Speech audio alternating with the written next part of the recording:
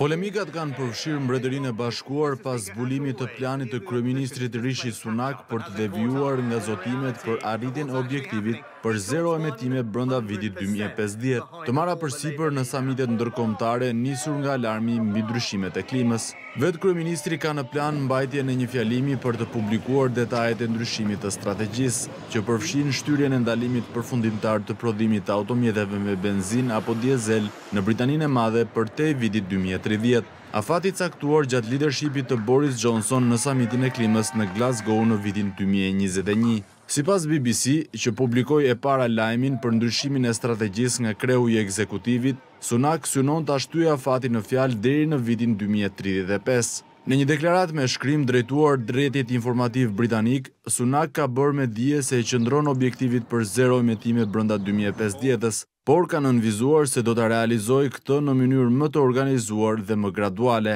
Fjalët e tij janë kritikuar jo vetëm nga opozita laburiste dhe eksponentë konservatorë, por edhe nga vetë organizata e prodhuesve britanikë të automjeteve, të cilët kanë deklaruar se ndryshimi i strategjisë ose bërja e hapave pas krijon pasiguri në treg. Biznesi ynë ka nevojë për tre gjëra nga qeveria e Mbretërisë së Bashkuar, ambicie, angazhim dhe koherencë. Lehtësimi i afatit të skadimit të vitit dy mijë e tridhjetë i minon që të treja kriteret, thuhet në një deklaratë të filialit britanik të kompanisë Ford.